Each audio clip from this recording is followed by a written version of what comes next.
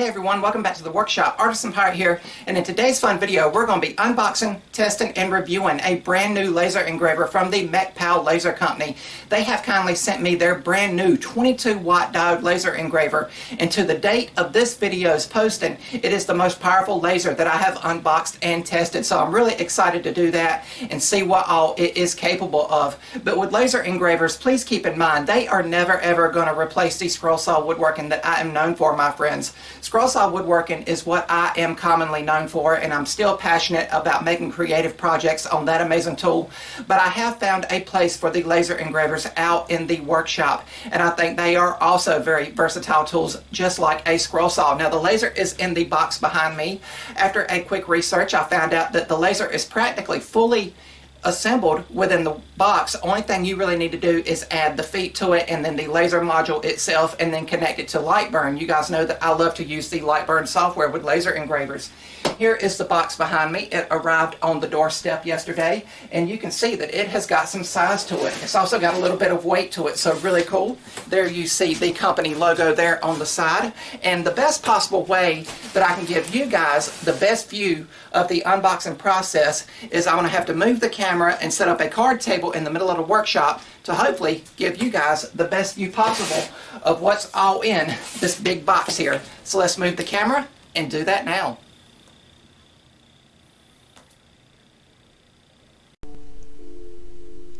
And bringing the box over to the table, we will cut the tape and remove all the parts and pieces, being careful to keep up with everything but you can see how everything is carefully packaged to where it will not bounce around and be damaged during the shipping process. But as you can see the laser is pretty much fully assembled and all that I am going to have to do is attach the Wi-Fi antenna which I will do now and then I will turn the laser over and we will put on the four feet and there is also four additional risers packaged in but then we will flip it back over, install the actual laser head, and connect the air assist, and the assembly was fully complete. And I'll switch back over to real time now to talk about the laser before we do some tests. Alright my friends, here is the fully assembled Mecpow 22 watt diode laser engraver and it is a beast of a machine. It is very rock solid. Again, right out of the box it was basically fully assembled. Only thing I had to do was add the four feet here and they simply just screw in and also included in the box is four additional riser feet if you needed a little bit extra height if you wanted to engrave on the top of like a box or crate or something like that and just needed that extra height for the laser and then we hooked up the laser head here to the gantry and we hooked up the air assist and the wire. It is ready to go and we also connected the air assist itself and Wi-Fi antenna and I really love this kit because it comes with the included air assist. A lot of lasers that you get do not have that. I followed the instructions carefully and we are now ready to power it on for the first time and always keep in mind if your laser is not in an enclosure always have a well ventilated area to where you can run it. The shop door is open. The fans are going to be going while I am testing this laser engraver. And always wear your safety glasses while the laser is in use. But we will now power it up. And you can hear it. It's not very loud. And we will send it to the home location, which is this front corner here. And now the laser is ready to create projects. What I'm going to do is connect the laser to the Lightburn software on my laptop and put a honeycomb spoil board in the middle. We will add some material and after dialing in our settings, we will begin testing to see what this laser is capable of. And after connecting the laser to Lightburn, I loaded a piece of quarter inch material into the laser and we were ready to begin our very first test. And this is a laser test file I designed in the Lightburn software to test the laser's engraving and cutting capabilities.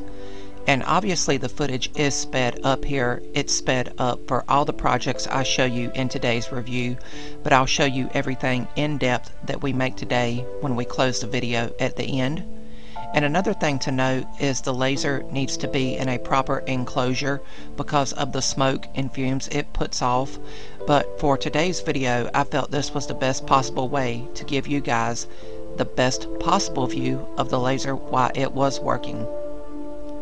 But after the test file was done and I was happy with it and the settings I used, I was ready to do my very first project on the laser and this is going to be a cell phone stand made out of the same quarter inch material.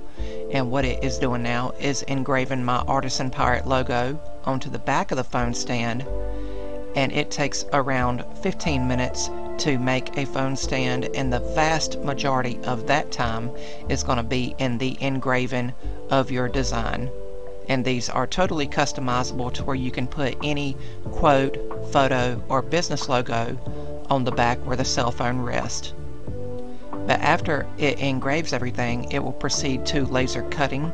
And one thing I love about this new laser is it has automatic air assist that will kick on during the laser cutting process. So that's a really cool feature to have. You can see my logo taking shape there. But now it will quickly laser cut the actual phone stand itself. And with each laser you use, you will have to play around with the settings to find out what settings work best for your machine depending on its power and wattage. But now we are doing a slate drink coaster. These are always very popular. People usually sell these in batches of four. And I'm once again engraving my Artisan Pirate logo onto it. And it takes about 8 minutes to make a slate drink coaster depending on how many details are in the graphic you are engraving. And this laser also has Wi-Fi capabilities to where you can run it from your cell phone through an app.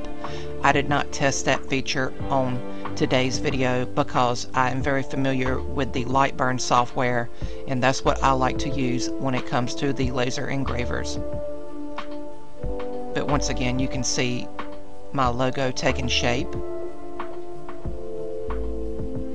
and this laser will ultimately end up in a laser enclosure to protect from all the smoke and fumes.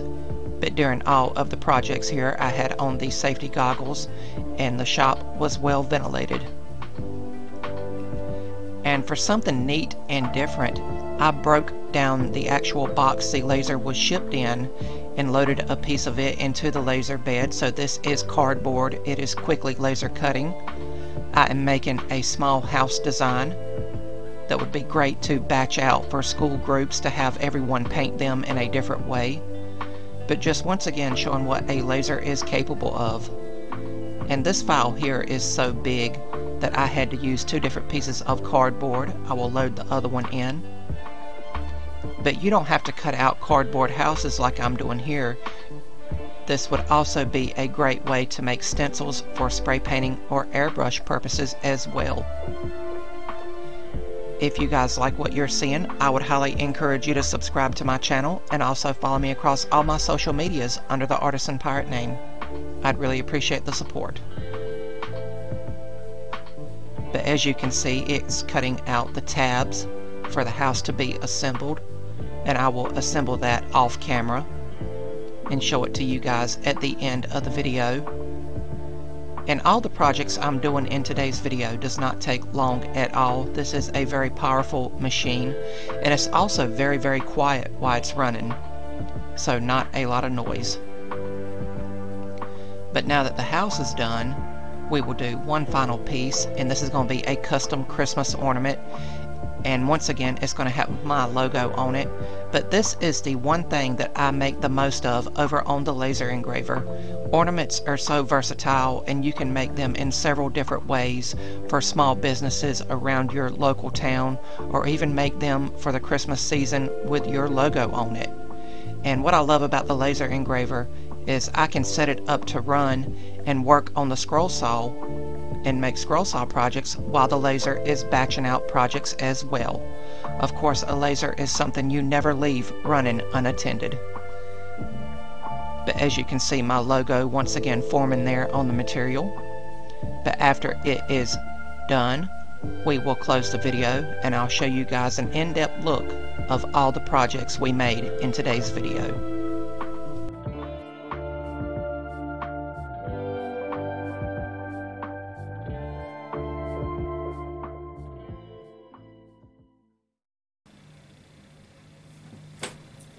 My friends, is the brand new Mecpow 22 watt diode laser engraver. I want to once again thank Mecpow for trusting me with this review. And hopefully in today's video, it has inspired you guys to look into laser engravers for yourselves. I would highly, highly recommend this laser that we have tested in today's video because it comes basically fully assembled. I know a lot of lasers don't, and that can be very tedious and off-putting to people to have to assemble all those small parts and everything. As you guys seen in today's video in the time-lapse portion, this laser was pretty much fully assembled right out of the box. That's why the box was so big and bulky.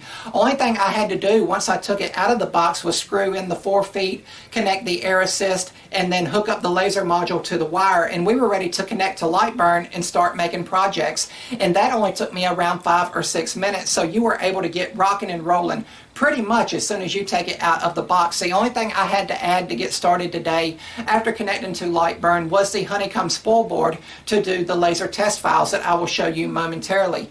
One thing I want you guys to know that during the whole time the laser was running I was wearing my safety UV goggles to protect my eyes from the laser light. I also had the air filtration unit running and the door was open and all of the fans were running out here in the workshop to circulate that air and push it out of the shop. A laser puts off a ton of fumes that can sometimes be toxic to your health. So, of course, and ultimately, this laser is going to end up living in an enclosure. So please keep that in mind. I just felt with the nature of the review of this machine, it was best to see it working out in the open. But again, it is going to go into an enclosure. So please keep that in mind. Once again, for all the files I'm about to show you, I use the Lightburn software. I also highly encourage Lightburn software. It's very powerful to anyone who picks up and uses a laser engraver. There is a slight learning curve with Lightburn, but with a little bit of time and effort, you can start knocking out projects quickly. I had my buddy Sam show me how to use it, and I was soon off to the races knocking out projects. But the first thing we done is the first thing I always do when I get a new laser out in the workshop, and that was do a test file. This is something I again quickly designed in Lightburn, and this is the standard one quarter inch material I like to use, and it's just essentially a material test to see what the laser is capable of right out of the box. It says Mecpow 22 watt at the top, and then it says material test one pass, two pass, or three passes indicating how many times it has to go around to cut something out. Speed of 300 and power of 87%. And you can see it cleanly cut everything out on two and three passes, and it all but cut everything out with one pass. It was just a little sliver holding on there, and that is because I had this laser at 87%. You never want to run a diode laser at a full 100% power all the time. It can be very damaging to the laser module itself, so please keep that in mind. But after this initial test, I bumped up the laser cut power to around 92% and everything else cut out nice and crisp and smoothly over on the laser. But then we done our very first full project and it was a cell phone stand, again out of quarter inch material and it took the laser around 15 minutes to do this from start to finish. It not only engraved my logo but then it cut everything out and it is in two pieces to slot together. I have a couple of these floating around. One is back on the workbench and one is at my computer to where I can keep an eye on my cell phone while I'm editing videos for you guys. And you can see it has a slot there for the cell phone charger to go into where it can be charging while it's sitting on the stand.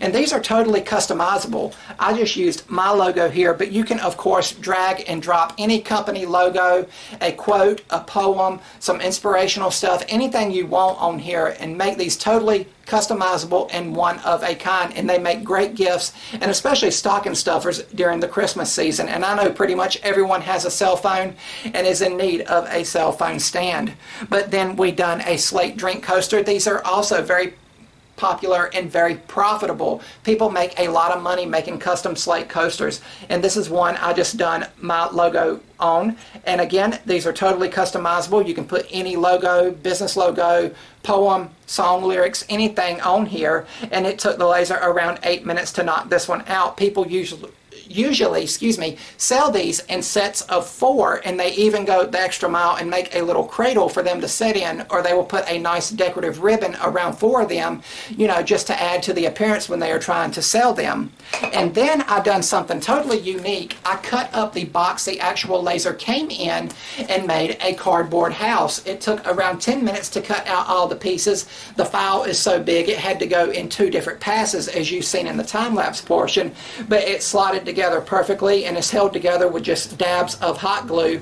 But I see this as a great way to upcycle and with the holiday seasons come up, you could make a bunch of these and make a Halloween or Christmas village. You know, you could paint these up as like a church. You could add a steeple to it. You could do a haunted house. You could do Santa's house. You could do a post office and have a whole little village made out of cardboard. So a great way to upcycle and use the ever accumulating cardboard pile that comes from orders like Amazon and everything. I know everyone has some cardboard floating around in some way, shape, or form.